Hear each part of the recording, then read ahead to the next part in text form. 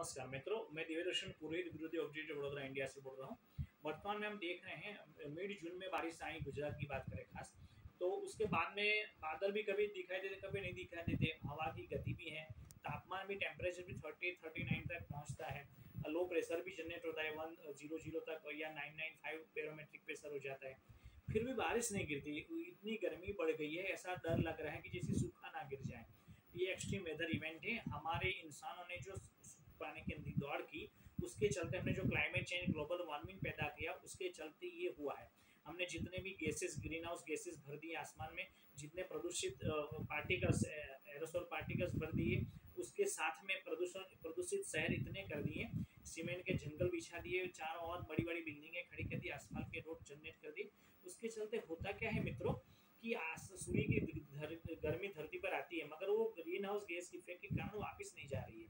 और सीमेंट के जितने भी जंगल्स हैं, यानी कि सीमेंट के जितने भी हमारे रोड्स हैं या बिल्डिंग्स हैं सब गर्मी को अंदर ग्रहण कर लेते मिट्टी की तरह वापस नहीं भेज देते। तो ये हीट आइलैंड की एक इफ़ेक्ट पैदा हो जाती है। उसके चलते होता क्या है कि हम, साथ में हमने पेड़ों का निकंदन कर दिया। जो वृक्ष हैं, वो बायोजेनिक वेपर पैदा करते हैं। ऑक्सीजन की वेपर उससे उससे निकलती है मात्रा और इतनी वेपर पैदा होती है कि ह्यूमिडिटी को क्रिएट कर सके। इसके साथ में हमारे बड़ौदा की या शहरों की बात करें तो आपको गाय या पशु देखने को नहीं मिलेंगे कभी कभार देखने को मिलते उससे एक प्रकार के एमिनोस वेपर्स पैदा होती थी, वो भी नहीं हो रही है। उसके साथ में हमने जलाई, सही के स्रोत सोख दिए आप गुजरात की बात करें, कई बड़े बड़े शहरों की बात करें तो देखेंगे पहले तीस साल पहले सौ जहाँ पर जलाशय थे, वहाँ दो या तीन बड़े बड़े जलाशय बचे, वो भी इतने डीप नहीं है। ना हम बोर को रिचार्ज करते, पानी को अंदर नहीं जाने देते। उससे चल के ज़मीन के अंदर नमी ही नहीं है।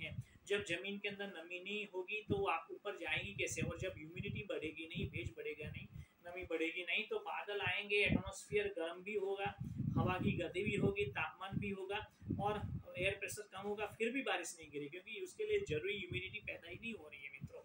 और होगा क्या? जब इतनी गर्मी बढ़ेगी, इतनी गर्मी बढ़ेगी, ये चीज़ केवल गुजरात की बात नहीं है। आप आगे चलते जाइए तो राजस्थान है, मध्य प्रदेश से उत्तराखंड है सभी जगह पर ये बात सेम हो रही है। अभी तो आषाढ़ माह रहा है दूरी माह उसको बोलते हैं। और हमारी रथ यात्रा निकलने वाली, फिर भी बारिश का नामो निशान नहीं आसमान खुला, सब स्टार्स दिखाई देते हैं। तो जब ये होगा क्या कि इतनी गर्मी बढ़ जाएगी कि फिर एकदम नमी ऊपर से चली जाएगी। सीमेंट की, मिट्टी की, जो पेड़ों की, पौधों की सब नमी ऊपर चली जाएगी और ये साथ में सभी बादल को बरसा देगी। तो जो बारिश 10-15 दिन में 10-12 इंच गिरनी चाहिए थी, वो एक ही दिन में धमाके से गिर जाएगी और फ्लड आ जाएँगे, फ्लड आ जाएगा। तो ये भी एक्सट्रीम वेदर जनरेट हो जाएगी। देखेंगे तो तीन चार माह के भीतर जितना बारिश पहले होती थी, उतनी बारिश केवल दस बारह दिन में ही गिर जाती है प्रतिदिन एक बार गिरते, दस बारह इंच गिर जाती तो वो वेस्ट चली जाती, ज़मीन उसको सूखती नहीं है। तो मित्रों, हमें प्रकृति की अंतिम चेतावनी हमें मिल रही है के बाद ये अभी पेंडेमिक चल रहा है, उसके बाद में ये चेतावनी भी हमको मिल रही है कि हमें कम से कम इस्तेमाल करना चाहिए इलेक्ट्रिसिटी का वाटर सप्लाई का, कागज़ का प्लास्टिक का, लगभग नो कर देना चाहिए। उसके साथ में प्लांटेशन करना ही चाहिए, किसी भी हालत में। पहले के ज़माने में भारत की बात करें तो तीस वृक्ष एक पेड़ आदमी के पीछे थे। आज एक आदमी एक पचास वृक्ष एक आदमी के पीछे तीस वृक्ष थे। आज पचास आदमी के पीछे भी एक वृक्ष नहीं है। कनाडा में सबसे ज़्यादा है, भारत में सबसे कम वृक्ष है। हमें वृक्ष हमारे जन्मदिन पर, हमारे विवाह दिवस पर लगाने चाहिए। छोटे छोटे गमलों में हमें तुलसी जैसे पौधे तो हमारे कम से कम हमारे घर में लगने चाहिए कि नहीं चाहिए? उसके अलावा हमें जलाशय हम नहीं खोद सकते, हम गवर्नमेंट के ऑफिसर्स नहीं है। तो हमें हमारे घर के बोर को, कुएँ को, हमारे अपार्टमेंट के कुएँ को रिचार्ज कर देना चाहिए। टेरेस से जो पानी गिरता है, बारिश से, वो पाइप को एक फ़िल्टर लगा करके उसके अंदर लगा देना चाहिए।